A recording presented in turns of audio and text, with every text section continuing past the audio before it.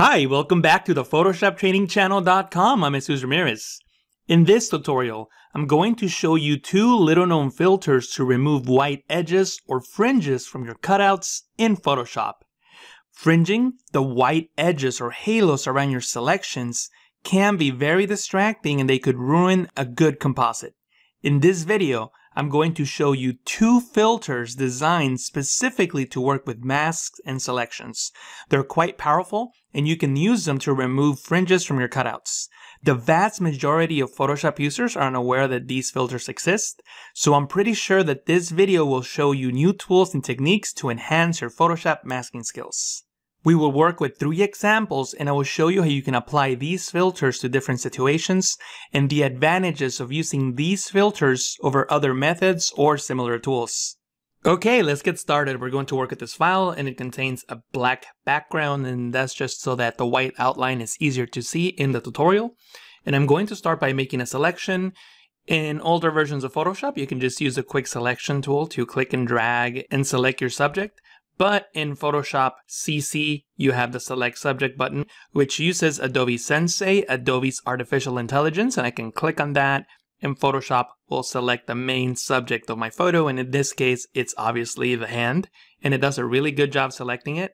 Next, I'm going to go and click on the layer mask icon to create a layer mask. And you will see that we have a really nice cutout, but unfortunately, there's a white edge, this white halo that is called fringing and there's a lot of ways of removing it in Photoshop, but not a lot of people know about two filters designed to work with masks in Photoshop. I haven't seen many people use it, so if you haven't seen this technique, please let me know in the comments, and if you like it, click on that like button. But anyway, make sure that your layer mask is selected. This white outline is known as the focus. Make sure that it's over the layer mask thumbnail.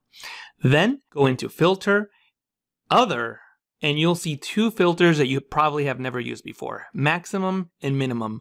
We'll start with maximum.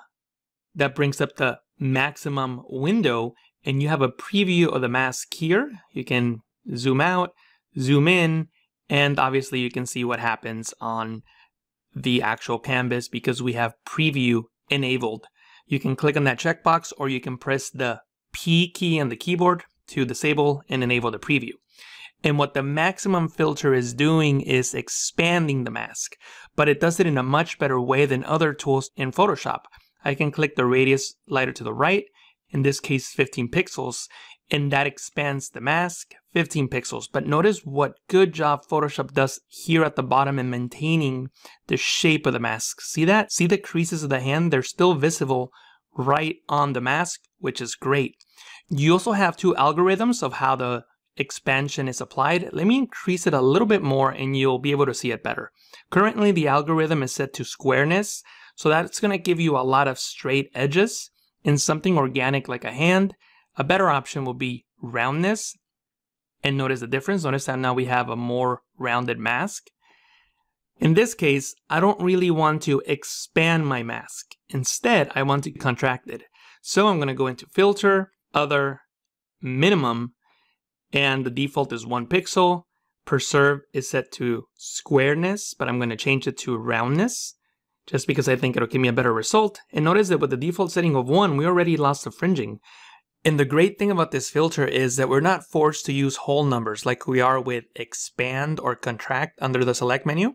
We can actually use decimals, which gives us more control. And I can use the up and down arrow keys on the keyboard to adjust the value in the input box and fine tune the contraction of my mask. Also something I didn't mention earlier, if I make an extreme adjustment, you'll be able to see how the mask is also affected here in the layers panel. So you can see that we're in reality affecting the mask. So I'm gonna just leave this at about one pixel and I think that will do a good job of removing the fringing off this hand. Once I press OK, Photoshop will apply that adjustment to the layer mask. One of the advantages of using minimum to remove fringing is that it works just like any other filter, which means that you can apply it to a selection. Let me show you what I mean by that. In this example, I've already done a pretty good job at masking out this runner, but I noticed that I missed a spot right here, this area here. So I can easily make a selection using the polygonal lasso tool and just target this area with that filter. So I'm just gonna quickly select the area that I want to affect with the filter. If I go into filter, other, minimum, notice what happens. I'm actually affecting the actual layer. I didn't click on the layer mask thumbnail, which is why I'm getting that effect there. And I can increase the radius and you'll see how it affects the actual pixels. So I really don't want to do that, so I'm to cancel. So activate the mask by clicking on the layer mask thumbnail. Make sure that the white outline is over the thumbnail. Also, I don't want the marching ants distracting me, so I'm going to press Control H, that's Command H on the Mac, to hide the extras. You can also go into View and Extras if you want. I prefer using the keyboard shortcut, Control H, Command H on the Mac. So the selection is still there, and if I go into Filter, Other, minimum, I can start adjusting the radius. This is what it looks like with one pixel. It's before and after. And I can keep increasing the radius until that fringing goes away. And we'll increase it to 3 to make sure that we remove all those pieces and press OK. Because of the selection that I made to target this area, we're having an issue here, but that's really easy to fix. With the brush tool, I can set white as my foreground color, and I can just paint that area back in to fix that issue there.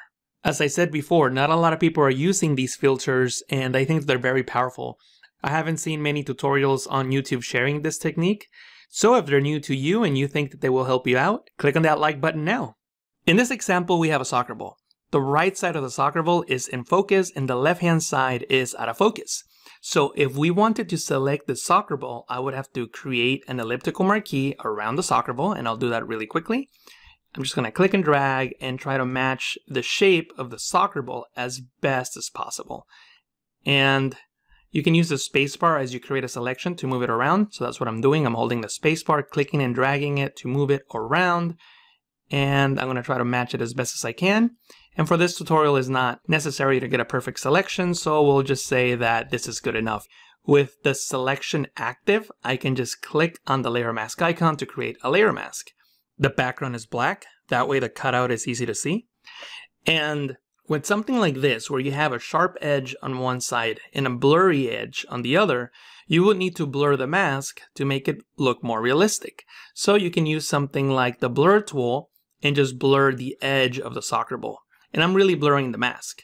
So I'm going to hold Alt, Option on the Mac, and click on the layer mask so that we can actually see it.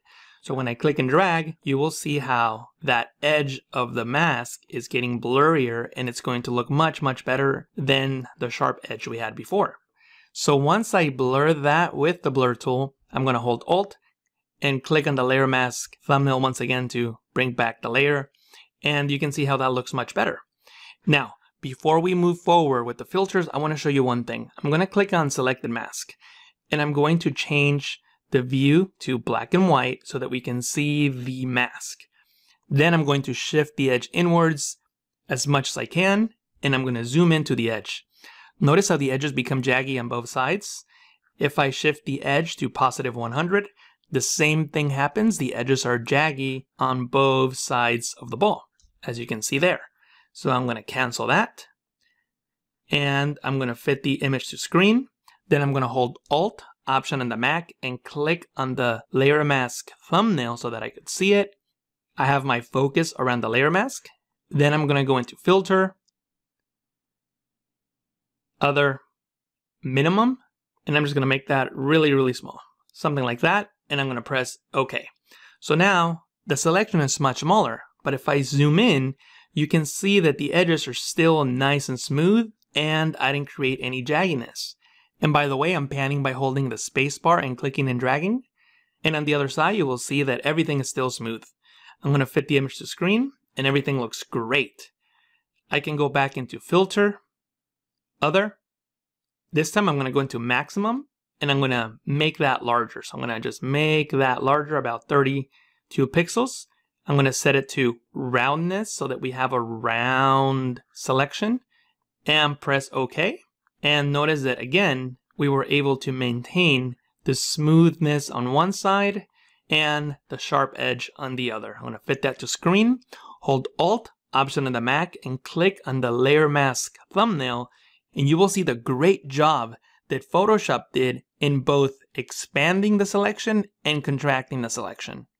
What I'm going to do now is simply press Control Command on the Mac and click on the layer mask thumbnail to create a selection out of that layer mask and I'm going to delete it. So it's like we're just starting from scratch. We just have a selection. And when you have a selection active, you can edit the selection by pressing the Q key on the keyboard to enter the quick mask mode. The quick mask mode will apply a red overlay to the areas that are not selected. In other words, the areas that are going to be hidden. And from here, you can use something like the brush tool to paint in areas that you want to select or deselect. You will of course use black and white.